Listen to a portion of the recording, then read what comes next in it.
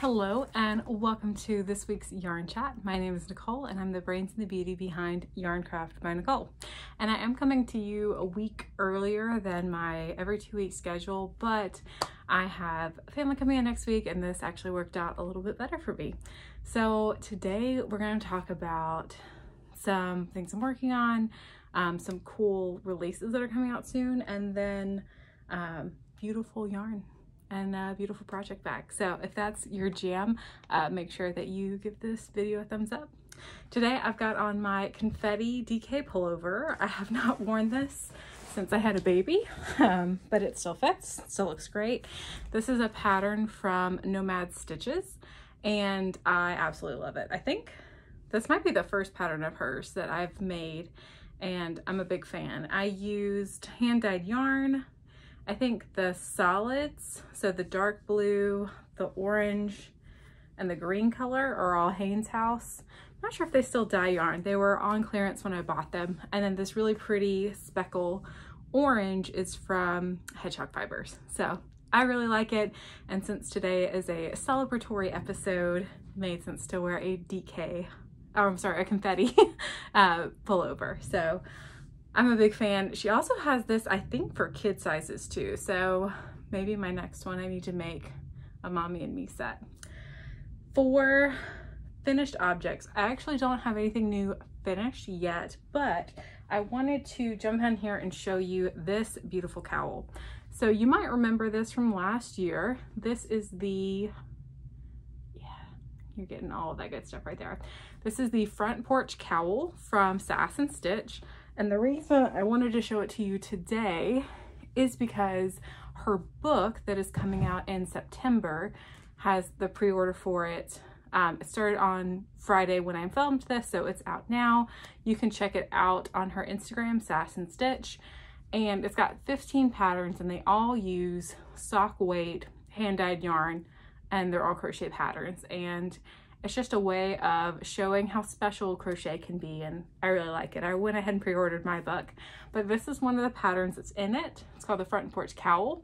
I really like it. Um, I used a sock set that had two mini skeins for this from Sunshine Fiber Arts and I think I want to make another one with scrappy yarn and make it like a double wrap cowl. But I really like this.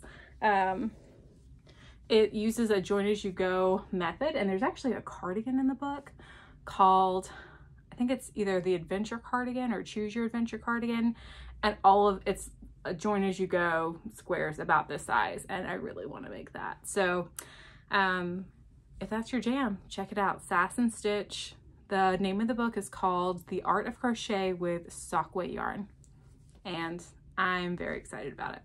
I'm also filming slightly differently today. I actually have natural light in, in the room where I film, which never happens. And so I had to change the camera around a little bit. So um, hope hopefully you're enjoying the fact that we don't have to have lights on, uh, the ring light on really bright to see everything. This is called the front porch cowl. I think I said that. Sass and Stitch, go check it out. The other thing that I want to show you that is a current WIP is my mom's Pebbled Path cardigan. So my, I was overly ambitious, if you recall, and I wanted to make, make my husband a Spider-Man vest and my mom a cardigan for their birthdays. Their birthdays are a day apart. They're both in like early-ish March and neither of their presents were, were done by their birthday. Um, when I gave my mom her present, I just showed her the yarn and said, there's some assembly required. I will be assembling it because I knew that they would be coming back, um, that well, they would be coming up to New York um, first week of April, so next week or this week as you're watching it. And I could try to have it done by the time it left. So I had a little bit done the last time we talked. I think I had just started the bottom because I had my husband's sweater it's still kind of in timeout because I need to finish my mom's cardigan first, but the bottom ribbing is all just, it's just too short and crochet ribbing because it goes um, side to side. You can't just like take it out and add a little bit more length. Like you have to take all of it out. I'm not emotionally ready for that. So his will just wait until I'm done with my mom's. So this is um, my fifth Pebbled Path cardigan. I actually tested this cardigan when it first released um, for Haley Handcrafted. I love her patterns. I test for her all the time. Um, but my friends and family really liked this. So several of them requested it, including my mom. And so let me show you what hers looks like. And I have made a couple of modifications to hers, which I will also put in the project page. So it's beautiful. It's green. She requested green. It's pretty close to the green I used for mine. I used Scout yarn. Ooh, I don't remember the brand, but I'm sure it's on the project page for that. Um, and I, I really like working with it. It's a gorgeous color, but it does pill a lot and it's 100% wool. And I wanted to make my mom one that was a little bit easier to care for. Um, not that she couldn't take care of something else, but I wanted to be something that she could wear all the time and not worry about it. So this is Hobbii Winter Glow Solid and it is like half and half acrylic and wool. And it has a really pretty feel to it. It looks like it's um, single ply because I can't really show you. I don't think my camera is good enough to pick that up anyway, but it works up really well. And I will say that I used Hobbii Winter Glow, the variegated version, for my Canyon crew neck. And I really love the way it came out. It's gorgeous. But I did have more trouble with the yarn being thick and thin in that than I did with the solid. I am also pulling from the outside on the solid, so I'm not getting the knots that I had a little bit of issue with with the other Winter Glow. Um, but it's really not, the texture isn't as variated in the solid. And I don't know if I just, if, I don't know if I just got some weird skeins of one or the other, but it has been easier to work with. So for this one, I made a couple of mods. One, the original pattern is like a thigh length cardigan. My mom is pretty petite. Uh, I think she's like five foot flat and um, she doesn't really wear long cardigans. Like she would wear something that, that hit her about at her hip, um, but not much longer than that. So I made hers, it looks more cropped than it is, but on her, it, it should hit her right about at her hip. And I also haven't blocked this yet. And because all of this um, crochet is uh, horizontal, as it grows, it will grow this way. So I didn't want to make it too long. So I took out, how many rows did I take out? I took out two of the bead stitch rows and then I took out several of the, the length here between the, the bead stitch and the bottom of the arms. The other change that I made is the ribbing on the interior. So like where the button band would be. Uh, I think it calls for, well, I don't remember what it calls for, but I did a yarn over slip stitch ribbing and I really like the way it looks. For something different. I've used it before on a cardigan um, with another pattern test I did and I thought it would just look really pretty. I'm loving this. I have officially started one of the sleeves as of this morning when Melody was playing in the activity gym. And it will not be finished by the time that my parents come in tomorrow, but I'm kind of glad because I don't want to make the arms, or I don't want to make the sleeves too long, and it'll be nice for her to try it on. I've also never made my mom a garment, so I'm pretty excited about that, and the fact she'll get to try it on as I'm working on it. So that'll be good, but they're going to be here for a week and it should be finished by the end of the week. So very excited about that. Um, it also has pockets. I haven't done them yet. Part of the reason is that I want to make sure my mom wants the pockets. The other part is I want to make sure I have enough yarn. I should. Um, I still have two full skeins and then like maybe a fourth of a skein left. Um, so that should, that should be plenty enough for both sleeves and pockets, but I do want to make sure she wants the pockets before I do that. But I really like it. I think it's great. And I think that once I finish it, she and I will have to get pictures in our Pebbled Path cardigans. And we're actually going to get to see my sister, who I also made a cardigan for like two years ago. And if, uh, if it's finished by the time I see her, then we'll just have to get a picture of all three of us in them and that will be really cool. But yeah, Pebbled Path cardigan. I love this pattern. Um, when I made mine, I didn't give myself as much negative ease as I, or as much positive ease as I should have. I still wear it all the time. It still fits great. Um, but it's not oversized. And I think that I want to make another one in maybe like Barocco Remix, um, something that has a lot of texture in it and like make it really oversized, make it longer, excuse me, make it really cozy. So who knows, maybe there will be a sixth one in the works. One of the other things that I really like about Haley Handcraft did patterns is that they are recipe style. So it would be very easy for me to make MJ1 if I wanted to. So yeah, that is my only WIP, but as promised, I have some really fun things to show you. Where do I want to start? I want to start with Terrapin Fiberworks. I cannot remember if I showed you this gorgeous skein, but this was the February colorway for the Steep Club, and it is gorgeous. My March colorway just shipped, and it's like this color green. It's really pretty. I'm making them in a, or I'm making a blanket with each um, months and then at the end I'm going to sew them all together. And then I got four, five. I got five um, squares from each skein. So this was January's colorway. I have my five um, squares and this is the Happily Ever After granny square from crochet one two three knit two something like that. I'll i will have it down below. Um it's a great pattern. I really like it. And it works out really prettily. So i'm hoping to get going on these two because it like it's a cotton dk weight yarn and it's just so it's just so fun to work with.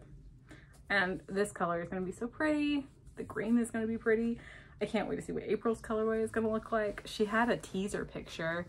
I think it was blackberries. So I'm excited about that. Okay, so that's the, that's Terrapin. The other thing I want to show you some other yarn that came in. Since we're talking about Terrapin, let's talk about more Terrapin. I saw this colorway. She's been adding um, more colorways to her dye to order catalog. And when this colorway first came out, it was a um, trunk show colorway that she did with Firebird Yarns in San Francisco. And when I first saw it, I was like, oh, that is pretty. And when she added it to her Dyed to Order catalog, I knew I needed it. So this is called Haight Street, which is a street in San Francisco. And it is gorgeous. Like, almost kind of, I'm not a huge unicorn person, but it, it almost has unicorn vibes or like soft mermaid vibes. It's delightful. I got it on the Atlantic fingering base, which is a mercerized Pima cotton. It is so soft. And I'm going to make a Captiva crop with this from Murphy Made Crochet. I'm very excited. It'll be a fun summer top. I've got to finish a lot of other things first, but I now have the yarn, which is delightful. Terrapin Fiberworks Lila is amazing with cotton. I love her colorways. I'm really enjoying her Steep Club um, I'm a big fan of hers. If you're a cotton um, yarn fan, check her out. She's great. I also got my last Amanda's Knits um, mini club. She unfortunately is taking a break from her yarn business. Um, so this is the last mini club and I think she does still have some things on her um, website, but Amanda Knits, this was the last mini club. And it's really pretty. Perfect for March. Um, the green is called Lucky Specks. And then the, or the variegated green, and then um, this one's called Keep Calm and Leprechaun. I, um, I really like these minis. I was going to take a break from her subscription just because I hadn't figured out a plan for them yet. Um, but they're really fun. I like them. But like I said, she is unfortunately, or not unfortunately, it's the right decision for her, um, taking a break from dying. So you might not be able to find those anymore. I also, I, um, I bought some yarn from a destash hmm, maybe a month ago. And for whatever reason, the address that got put in was the correct street address, but the wrong city. So it went all over the place before it actually came to me. And I just got it and I want to show it to you. So this one is called Alisha Goes Around. Is that the name of the company? Yeah, I think Alisha Goes Around is the name of the company and Pulchritude might be the name of the base. Um, it's a new to me. I really like it. Um, this, yeah, Alisha Goes Around because that's the name of the website on the back. Um, I don't see a, unless that's the name of the color, Pulchritude of Peacocks, um, a yarn colorway name, but it is so soft. I really like this kind of acidy yellow color. I was thinking of making a hat for myself, even though I don't typically wear many hats. Um, I really liked the Into the North hat I made for Vaughn and for MJ. I thought I might make myself one and then put the rest in my like DK quilt blanket that eventually I will work on again. Um, and I still might do that, but I don't know. Now that it's spring, I might just sit with them.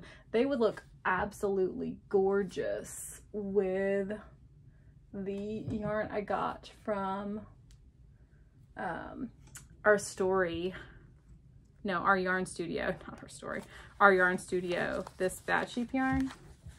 I mean, come on. That will look really good. So I don't know if it'll still go into it, if it'll still be a hat, but they look pretty darn good together, if I do say so myself. So we'll see what that becomes. Um, I also got four skeins of Low Tide. I have heard really good things about this yarn and have never found it in a store. Um, it's from Lion Brand and it's a chainette construction yarn. I think it is, yeah, it's acrylic and polyester. It is very, very soft and I don't know exactly what I want to make with it. I think maybe a Chimera crop top from TL Yarn Crafts. I think that would look really pretty and I think I would wear this gray color. Like it would be good as a cover up for the pool or just as a cool summer top. Um, I thought about using it in the multitude of baby blankets that I need to make, but I don't know that it would be enough yarn on its own to make a full baby blanket since I have four skeins. It probably would be close. Um, and since it's such a unique construction of yarn, I don't think I would want to add a different kind of yarn in with it. So I think it'll become a garment of some type for me. I have four skeins of this. This is the color driftwood. But I really like it. I'm a fan that I got it. And now, at the end of the episode, let me tell you the exciting news. So I teased a couple weeks ago that we hit a thousand subscribers here on YouTube, which is amazing. I'm so thankful for that. Thank you for everyone who has subscribed, who has liked these videos, who watches. Um, it really means a lot to me that people I've never met are happy to see what I'm working on and I'm so happy to share it with you. So as a thank you, I'm going to be doing a giveaway for these three yarns. If I can show them all together. I've got this beautiful skein from Pandemonium, which uh, Pandemonium 3 Dye Works. She is a Georgia dyer. I picked it up when I was in my hometown and it is a shop exclusive colorway for our yarn studio. I have a skein of Moondrake Rose Quartz. This one I had to buy because it just looks like a celebration in a skein. It's got stellina. It's got rainbow tweed. It's a blush color. It's really, really pretty. And this is the only, let's see, no, this is also fingering white. And then the last one, and the stellina is copper. I don't know if you've ever seen copper stellina. Um, it's very subtle in the skein and it's really not, it's not itchy to me at all. I'm a little jealous that someone else is going to get this because it is so much fun. And then the last colorway that I have is from Kim Dyes Yarn. And this is from Kansas City, where my in-laws live. And this was a shop exclusive for why am I blanking on the name? Yarn Social in Kansas City. So in order to win these three skeins and possibly some other little goodies, what I want you to do is to comment down below on the video with a milestone that you are proud of. This could be something that you hit this past year. This could be something that you are looking forward to achieving, but let me know of a milestone that you were really proud of. Um, and which of these colors is your favorite? Let me know in the comments below. I will uh, pick a winner by the next video. So in two weeks, I will pick a winner I will never ask for your um, financial information. Um, I will not reply to your comment down below. I will say your name in the next video and then have you reach out to me to uh, email me to claim your prize. Um, please do not give out any of your personal information to anyone who asks for it. It is not me. Um, I will ask for your shipping information in a video in two weeks from now after you email me. That is all. Um, but yeah, comment down below with a milestone that you are really proud of this week, or I'm sorry, really proud of. And let me know which of these three colorways is your favorite. And with that, I will wrap it up with what I can't let go of. And what I can't let go of is how grateful I am.